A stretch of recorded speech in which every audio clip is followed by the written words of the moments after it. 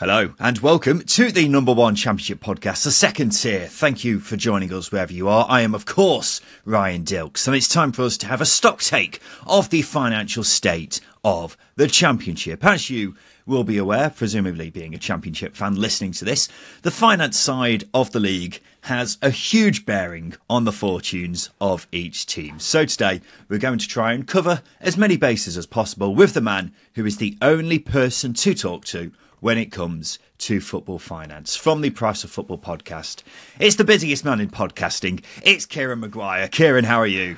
I'm all tickety boo. Uh, it's quite nice to uh, appear on a championship show, given that uh, Chelsea aren't very pleased with me at present. I suspect Everton aren't after what I've just said about their owners. and uh, I, I gave a talk to a parliamentary committee about a month ago and Richard mm. Masters was sat behind me, and I, and I could feel the laser beams on the back of my neck as I said, yeah, I don't think the Premier League's doing very much on this, that, and the other. Um, but yeah, I'm sure he went back to his 1.9 million pound a year salary and didn't lose any sleep over yeah. it. Yeah, I'm sure. I'm sure he'll be fine. You know, it's a nice change of pace for you to be talking about the championship for once, isn't it? I mean, we did speak last year, and it feels right to have a sort of annual review of the financial positions of clubs because, as you know very well, Kieran, it's always changing, and it's particularly never dull here in the championship, is it? Yes, it's a. It, it's a fascinating division. I think we described it previously as the clown car of European football. Um, you, you've got all of those clubs changing position each year. You've got all of those incentives to overspend and not learn any lessons from history, which which is mm. what, what, we're quite good at doing on a on a more global basis at present. But let's not go down that particular avenue. of course. But we'll try to cover as many bases as possible, as I say, with different championship clubs. But let's get started with the first club I wanted to ask you about. It's the side who are set to have perhaps the most interesting summer from my perspective. It's the losers of the playoff final, Leeds United. Quite a bit of business is expected there over the next couple of months, and we will discuss that shortly. But they've been in the news recently for different reasons over the past few weeks. That's because Red Bull have taken a minority ownership stake in Leeds United. Now, we're told they won't be coming RB Leeds or anything like that in the near future. But that aside, how significant is this news, Kieran? I think it's a vote of confidence in Leeds United. And, the reason why I say that is that, that Red Bull are a global brand. And I think Leeds was Leeds shirt sponsor this year, Flamingo Land. Um, it was the sleeve sponsor. The main sponsor was BOXT, yes, I think. Yeah. Um, so Leeds will be looking to be the top dogs in the championship, in, certainly in terms of finances. Yeah, we know that they've got magnificent support home and away, but um, they are looking to generate additional income. 49ers investments. I think people get a little bit confused about the owners. It's nothing to do with the 49ers themselves. It's a pure investment arm who are looking for some form of financial return. They had hoped, of course, to have returned to the Premier League, for having failed to do so, selling off 10% or whatever it is of the club, and we are awaiting those details at present. Um, is is a way of generating short term cash which is one thing that they need. And the reason why I say that is that if you took a look at Leeds United's accounts when they were relegated, the big issue for me was that they owed 190 million pounds in unpaid transfer fees, of which 78 million pounds of that was due by the 30th of June 2024. So yes, they've got parachute payments, but parachute payments go to pay wages. Yes, they've sold some players. Yes, they've shifted a lot of players um, in terms of loans. But even so, um, from a cash point of view, I think this would have been beneficial to the club. And uh, I think you know I've, I've spoken to Paraag, um, who's the uh, you know, the new chief executive and so on. He, he strikes me as somebody who is business smart and is, is using the the connection with Red Bull to to to help smooth the waters over what could be a bit okay. of a choppy summer overall for, for many, many clubs. Yeah, well, that brings me nicely on to the reports that had come out just before the playoff final that if Leeds did lose that playoff final, they would need to raise £100 million from player sales. And of course, they have lost in the playoff final since then. So, from what you know, is that the case? And how does the Red Bull deal change that? Well, if we look at those questions in turn, I don't know where this figure of £100 million came from because if, if I, I've got a spreadsheet here in front of me which has got every single club you've heard of and quite a few that you haven't, um, in, in terms of their their their accounts for going back at many many years. Now now Leeds lost seventy million pounds in the last two years in the Premier League. Um, you're allowed um, for the three years to the 30th of June 2024. Leeds were allowed to lose 83 million. By the time you add back your PSR adjustments, I, felt that Leeds could could afford to lose a, a, fair amount of money in that first season in the Championship and still be within the boundaries of um, PSR. So, do they need to, to raise £100 million to avoid a potential points deduction? No, no, that, that's no way is the case.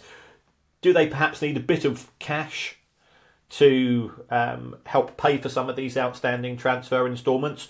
Possibly, but if Red Bull have now put in the cash in terms of provided some funding through a variety of means, and if 49ers have put in some cash as well, then I don't see Leeds in being too too problematic a position. Okay, so that, that's really fascinating because this is something that we've spoken about a lot around the you know the playoffs that Leeds needed to sell if they didn't lose, and that's what at stake. So how much do they have to try and raise over this summer? Because 100 million pounds sounds like it's bollocks. Yeah, yeah, I, am I'm, I'm not sure where that came from. It, it, yes, in terms of cash, do they need to, to manage their cash a bit better? Certainly, um, but they have sold players. They've got instalments coming in and so on. So a, a lot of it's just to do with with management. We don't know the extent to which players had relegation clauses embedded into their contracts. So the, mm. the impact on the wage bill is uncertain. For, certainly, the vibes I'm picking up from social media in terms of Leeds United. Do they expect to sell a player or two? Yes, but that's part of player trading. You know, every, every club does that. Um, I think what's all what what fans fear is some form of fire sale where you're forced to sell players either a by the 30th of June, which is normally for PSR purposes. I don't see that in the case of Leeds United. Or secondly, by the end of the August, you know, the, the end of the summer window, because you simply want to balance the books overall, in which case you're under far less pressure to take a discounted price um, in respect of, of players moving, leaving the club. So I, I think Leeds are in a okay position, which goes against the grain of, of sort of the narrative that's being widely reported. Yeah. Well, that's really, really interesting. I mean, it seems pretty likely that they will still sell a couple of big names this summer because they're simply too good for the championship. Yeah. But it doesn't sound like they have to sell, which uh, will be very pleasing news for Leeds fans, won't it? One of the teams coming down to the championship next season is Sheffield United, who are an interesting case because they seem to have been looking for a takeover now for at least two years. Now, there has been rumours of an American consortium in the last couple of months who have shown an interest, but how concerned should we be about them the longer it takes for a takeover to happen? Yeah, this this is a strange one. Um, the current owner, he was in negotiation with a guy from Nigeria. Uh, was it Dozy Mmobuosi? Yeah. Who something like yeah, that. Yeah, who, who, appeared to have aircraft which he bought on Instagram, um, and uh, it's another one of these truly fascinating stories. There, there are so many charlatans. There are so many fantasists involved in the world of trying to become a football club owner. It, it, it seems to be very much unique in. Uh, compared to many other industries. Um, is is the Sheffield United owner looking at the exit door? Yes. Why has it not happened? Because he's asking for too much money. it, it, comes it comes down to price.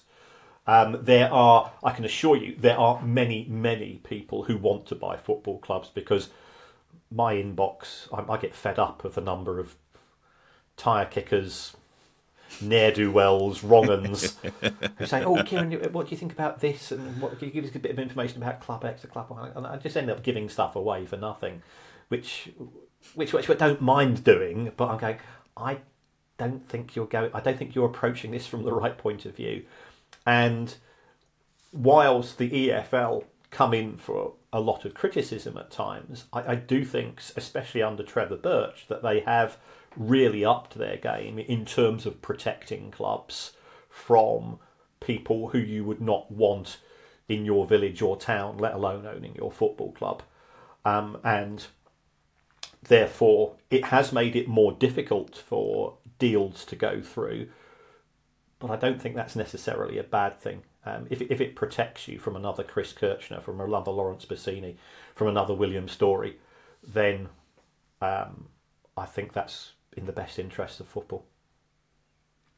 So, from a Sheffield United perspective, go back to the original question: Should we be concerned if they don't get a takeover done in by the end of the year? Say, not this season. I think yeah, they can.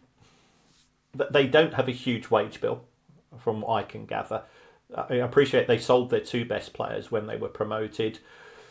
They've got the benefit of parachute payments. They they should have, despite not moving the goalposts very much in terms of generating points last season, they still will have picked up 110 million pounds in in broadcast revenues. So a need to sell from a financial perspective, I don't think that's the case. A need to sell from the point of view of the club progressing. You've got an owner who is is not interested in the club. Is is not interested in um, making the club more attractive on the pitch in, in terms of what it can deliver uh, by investing in talent, then I, th- I think a, a, sale would be desirable, um, but not essential from a, f- a financial perspective. Interesting. Well, if you cast your mind back to the last time we spoke, Kieran, we were very concerned about West Brom, who were kind of in a similar position to Sheffield United, well, an, an even more dire position than Sheffield United are now, it's got to be said, where they desperately needed a takeover. Now, that has since happened, and the future looks a lot rosier.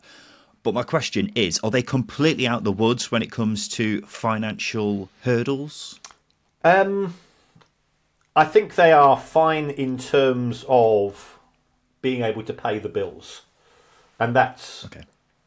always important. Um, as far as looking at their their profitability is concerned, um, this season is their first season without parachute payments. So 23 24. Um, they had to get the wage bill substantially down this season. We'll, we will find out in due course the extent to which they've been successful at that.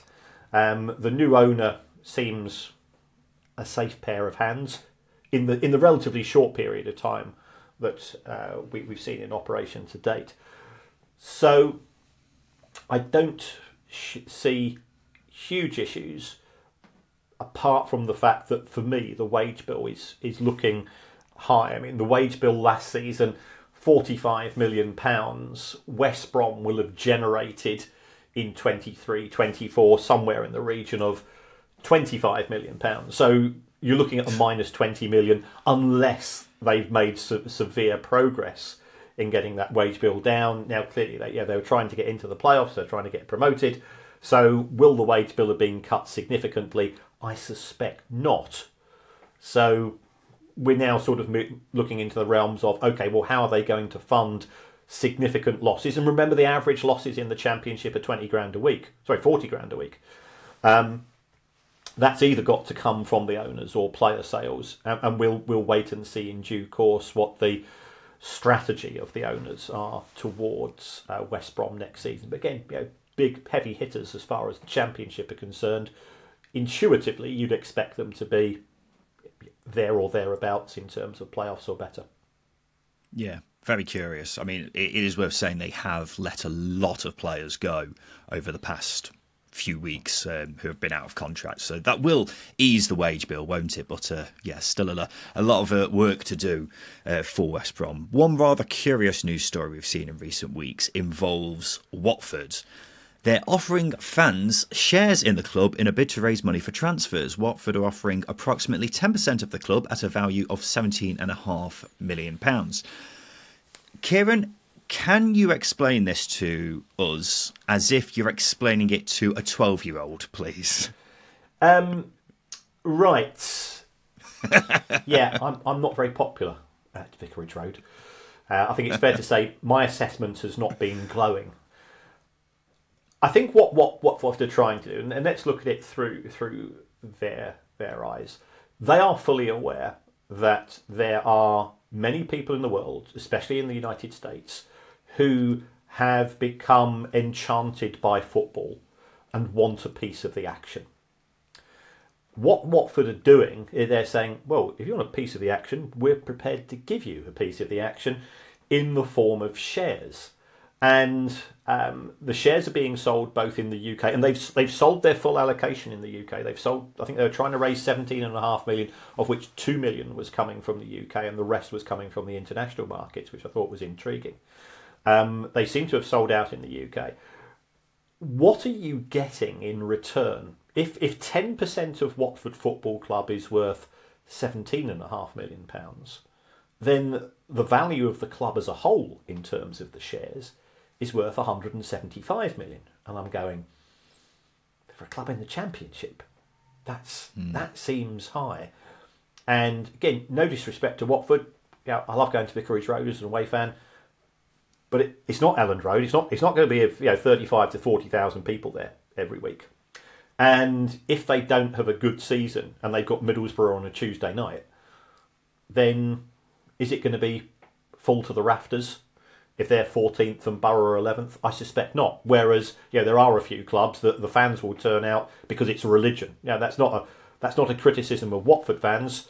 Um, I think you know, they've got a good core fan base, but the casual punter, and yeah, I'm a Brighton fan. It would be exactly the same if Brighton got relegated and we're in a similar scenario. There would be huge swathes of empty tickets, of empty seats. Um, so, upon what basis is it worth 175 million pounds. Well, Watford said, well, it's the highest profits ever made in the history of, of the championship. And I go, yep, yeah, I agree with that. But a lot of that was due to the fact that you sold players following relegation yeah. in 22. Um, and some of those players, you know, we normally, when you, you think about what's happened in the season, it's the the summer window before the season starts and the January window during the season. That's where most people. What Watford did is they sold João Pedro. I mean, he was sold in May to Brighton, and the deal went through formally when the, the transfer market opened at the end of 23. So a player that most fans would have thought was sold in 23, 24 was actually being accelerated into 22, 23. Perfectly legal, but you take away those player sales because they, they, are not going to be selling players and making a 60 million pound profit every year. You take away that and you go, well, actually, the numbers don't look too good. And then they said, uh, uh, uh you know, I've looked at the, the sales document as, as, as it is, you know, uh, a record 239% increase in commercial income over five years between 2018 and 2022, the highest in Europe. That's that's a bold claim. It's it's an accurate claim, but if you do the five years from 2019 to 2023 or the seasons, commercial income actually fell. So it was. so why isn't this being um, being you know included in the in, in the sales pitch? Um, so what are you getting for your shares? Well, you're not getting a vote. So normally, uh, uh, uh, owning a share is owning yeah, it's owning a fraction of a business. Yeah. So you're not getting any votes with those shares. So you know the owner can go and sell his shares with all the votes to somebody else. Um, you can't sell the shares for at least 12 months. You're not going to get a dividend on the shares. You're not going to get any interest because you don't pay interest on shares. So what have you got? You've got a you've got a piece of paper which you'll have to print off yourself Um, you do get a digital certificate. Well, that's that's great. Okay, fine. So you can look at it on your phone. So yeah, I, I now own a, fraction of Watford Football Club. Um, there are some perks. Um, so if, for example, you spend eight hundred thousand pounds on buying shares in this offer from Watford Football Club, you get a free scarf, home, away, and third kits. Okay, so you get three shirts and you get free parking and you get to go to lunch with the manager.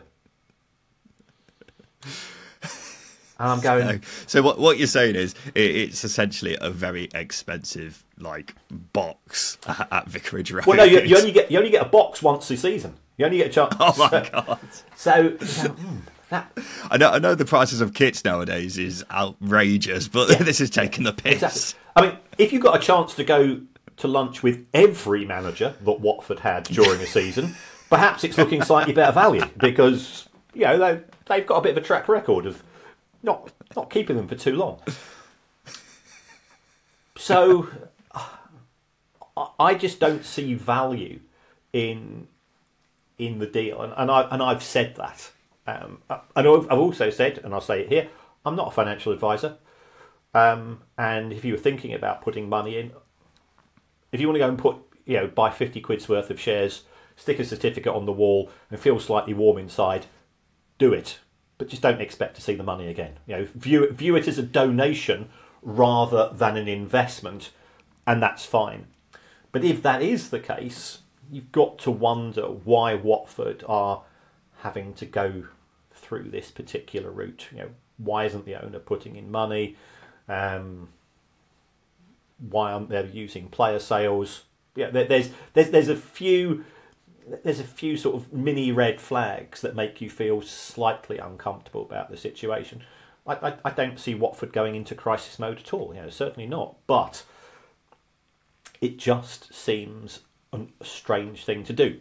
But I, I monitor. It has generated not seventeen and a half million pounds, but it's, it's got about four million pounds worth of pledges already. Because some some football fans in the United States will think that this is a, a great way to own a club back in the UK. I just hope that they've done their homework. But will they? yes, the, the silence says everything. Um, let, us move on, Kieran, to Sheffield Wednesday, who are always a fascinating club, aren't they? Mainly because they're owned by an absolute maniac. The latest on them is Dejphon Chansiri doesn't want to sell, reportedly, and would like extra investment from elsewhere. Now, I struggle to see Wednesday really going anywhere while Mr. Chansiri is in charge of the club, Kieran. Is that fair? You never know at a football club. You know, you get the right manager, you get a couple of decent loan signings, you get good atmosphere in the dressing room, and that can be transformative. So, never say never. But Wednesday certainly don't have one of the biggest budgets as far as the championship is concerned. Um, looking at the way that Dejphon Chansiri has owned and run the club, it's been erratic at times. When they've announced the, that feels like it's understating it a bit. yes, yeah. Well, um, uh, um, we, we, myself and Kevin Day, who I do the podcast with, we uh, we wrote a book called Unfit and Improper Persons, um, and I did actually send a copy to Mr. Chansiri to say thank you for the inspiration for writing this book. Didn't get a reply. Disappointed in that. I got to be honest. Um, but he he doesn't appear to have a long term strategy. Um, you know, there were stories around. I think they had a ten year season ticket, or uh, uh, or some sort of some some very strange season ticket sales, yeah, which which went up, and you looked at the terms and conditions, you say that that does look a bit strange. And I I was told. On, in respect on one of these, only sold four of them, of which three were to people called Chansiri. So um, it, it's always, uh, you know, fr- from my point of view, as sort of trying to analyse the finances, Sheffield Wednesday's always been a bit of a gold mine You know, the, the the sponsorship deal they had with the taxi company that didn't own any taxis and didn't have a phone phone number, I thought was a particular high watermark. Um, the, the energy drink company, which didn't appear to be selling any energy drinks, was a, was another one. Both happened to be owned, of course, by Dave, you know, Mr. Chansiri himself. So he, he's always been a source of uh, uh, content from my point of view. If I was a Wednesday fan, it was an owl, the jokes worn off. Um, yeah, they did well at the end of the season um, to, to, to keep their position, but it's it's a frustrating set of circumstances because Sheffield Wednesday is a big club. Yeah, yeah, it is. It's a massive, massive club, isn't it? Especially at championship level, and uh, you've got this guy running it who, he, again, from a content perspective, it's great for us, but uh, from a Wednesday perspective, I imagine it's pretty annoying. Um, a, a, club who seem to be having a bit of a crisis behind the scenes right now is Blackburn Rovers. I've recently been seeing constant reports of staff members leaving, and there have been concerns this year about how the owners, the Venky's, will fund the club going forwards. What's your take on them, Kieran? Should we be concerned about them? I'm, I'm a little bit twitchy about Blackburn. Um, trying to work out the mentality of the Venky family towards Blackburn Rovers has been a real struggle. Um, I don't think they've attended any matches since a fan threw a snowball at one of the Venky's, and this was probably about in 2013. So they've not attended the matches. They have provided funding. Yeah, they have provided millions of pounds of funding, and um, like you, I've got contacts at clubs and local newspapers and so on. And, and my secret rover says they have been incredibly generous. Yeah, they, they put in the thick end of two hundred million pounds in, into Blackburn Rovers. Trying to work out what they're going to get from it in return is difficult. And now that they have had issues with the Indian government with regards to tax considerations, I think which involved buying Gary Neville's old house. You know, it's one of these sort of weird yeah. stories. Yeah. Um, because they're only allowed to spend money on sort of business uh, deals, and uh, isn't Gary Neville's house sort of Teletubby friendly, or was that Phil's? I don't know. Some some sort of really weird thing. Um, I think potentially broke broke the rules. I, I, don't know enough about how the tax system works in India. I would imagine that it will be quite bureaucratic, uh, and um, this could have an impact upon their ability to maintain that level of funding, and that's that's my concern. Um, that if there are constraints put on them with regards to how they use their money by the Indian government, by the Indian tax authorities, then we've got a problem because Blackburn, in its present form, is losing money uh, you know, on, on a month by month basis. As I was saying to you earlier, right, it it happens in the championship. You know, it's uh, it, it's the nature of the division. Yeah, it really is. Um, one club who doesn't seem to have a problem with funding, the issue being that they can't actually spend the money, is Stoke City. And um, that, that is the case, isn't it, Kieran? They, they have some of the richest owners in the Championship, but just can't do anything with that money, can they? Well, they can't spend it well. I mean, that's that's that. that's the issue. Um, they were in a slight pickle a few years ago with relation to uh, financial fair play, PSR, whatever you want to call it. But fortunately, they found somebody who was willing to buy the Bet365 stadium from them at a really good price. And, and that, that was Bet365, who also happens to be the, the common owners of Stoke City Football Club, where, where all of their, their potential revenue or potential investment comes from. They are very much a, for want of a word, a, you know, a, a victim of FFP. Um, I think they're Tony Scholes, who was their previous chief executive. He certainly bemoaned on more than one occasion that why can't the owners put put in the money? Yeah, they, they've rinsed punters for it. They don't they don't know what to do with it. If, if you take a look at um, Nicola Coates, who is the uh, the chief executive, she's got the highest salary from Bet365 of, of any uh, salaried person in the UK. Yeah, she's making £300 million a year from Bet365 and is taking dividends, which will take that closer to 400 million. So yeah, the money is there, the support for the club is there because the Coates family are completely wedded to the idea of, of supporting the local football club. You know, they're from that area themselves, but they are very much constrained by the, the nature of FFP, which only allows an owner in the championship to put in 24 million pounds over a rolling three-year period into the club for FFP purposes. This may be a bit of a dramatic example, but are they kind of like a championship version of Newcastle United in the way that they have so much money, but because of the rules, they just can't spend it?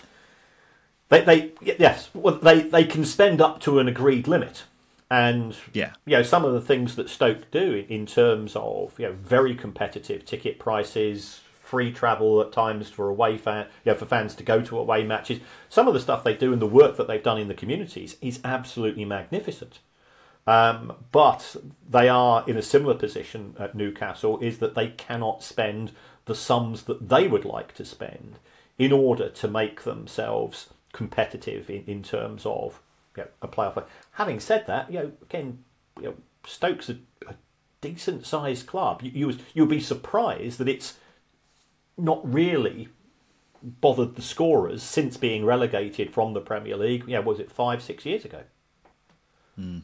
Yeah, yeah. Well, they've uh, certainly not been doing that, considering they finished between 14th and 17th every season since being relegated. So, uh, yeah, whether that's going to change anytime soon, only time will tell. Um, Kieran, let's round off this chat with two of my favourite questions whenever I chat to you, because um, this is always interesting.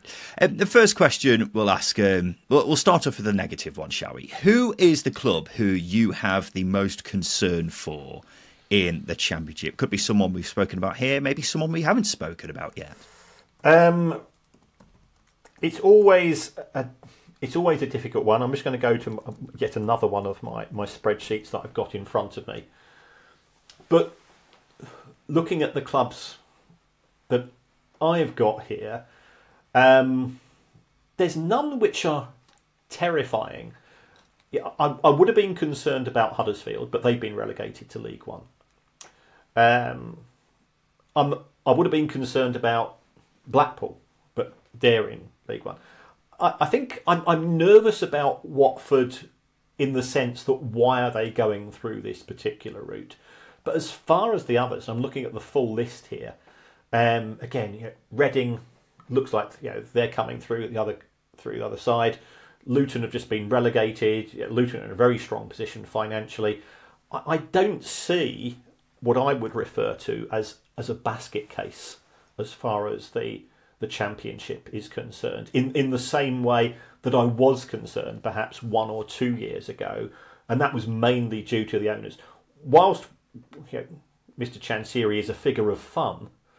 Um, because of the wealth of his family, ultimately, when, when money needs to be found, it is found, even though it's sometimes seems to go through a somewhat strange route.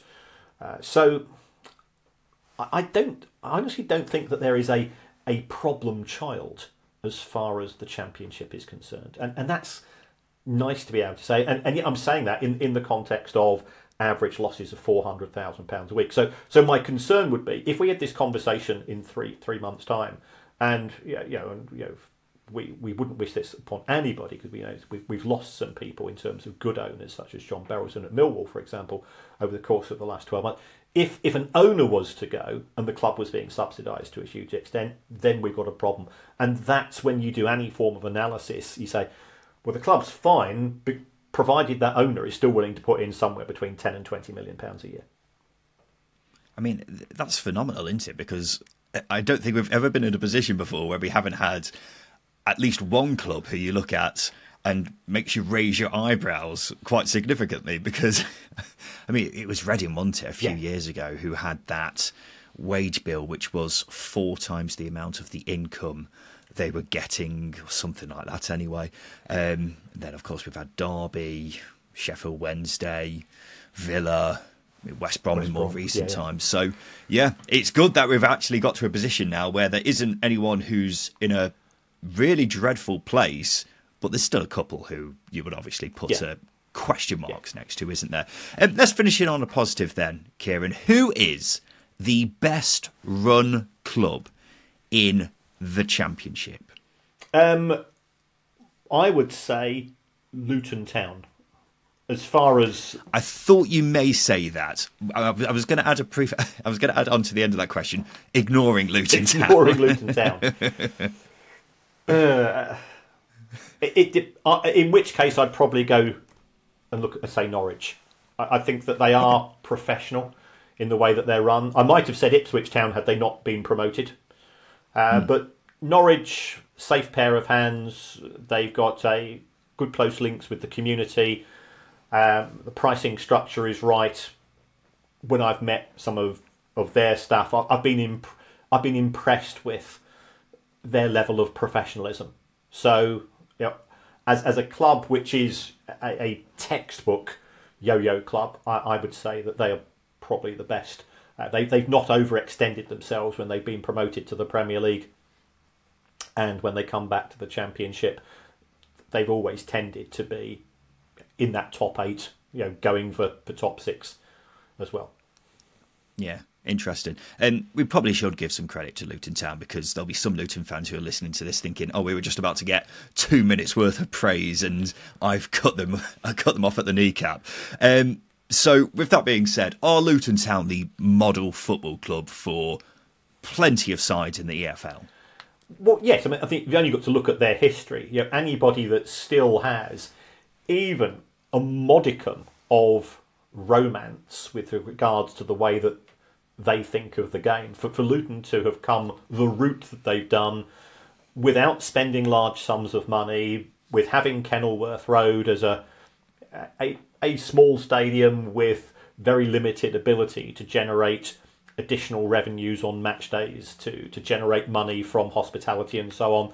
I think it is a testament to, to Gary Sweet and his team um, of having a vision, having a strategy, sticking to it, and reaping the rewards. And fair play to them for that. Yeah, absolutely. I remember watching them when they were playing Southport in non-league, and to see them in the Premier League last season was just ridiculous. So, yeah, it'll be interesting to see this coming season how they bounce back. But because they're so well run, you would not rule it out at all, would you? Kieran, it's been an absolute pleasure chatting to you today. As usual, where can people find you um, if they want to listen to more of your podcast?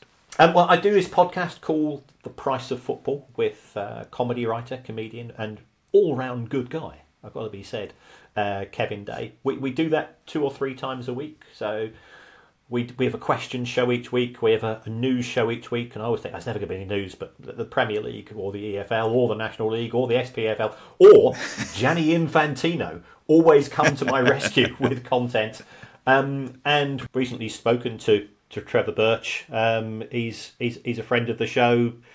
Um, we have regular communication through WhatsApp messages and grumpy calls because we're, we're both uh, ex accountants who have ended up somehow vaguely connected in my case, but very closely connected in his place with the football industry. I've got huge admiration for, for him as a as a professional. You know, he's he's, he's very thorough. He's, he's very organised. He, he he he is. He's been a professional footballer. He's been the chief executive of a football club. He's run football clubs that have gone bust and now he's in charge of the EFL. I, th- I think he does a fantastic job, and I've been very impressed with uh, his team as well. Uh, can he can he sort out the mess? Uh, no, he can't. Nobody can, but at least he can stop some of the crazy people from making it worse. Yeah, absolutely. That's all he can really do, isn't it? Um, Kieran, it's been an absolute pleasure chatting to you today. Thank you for your time. Thank you, Ryan. Keep up the great work. This is Oh, thank you. This has been the Second Tier Podcast. I've been Ryan Dilks. We'll be back again on Thursday for a news roundup of everything going on in the Championship.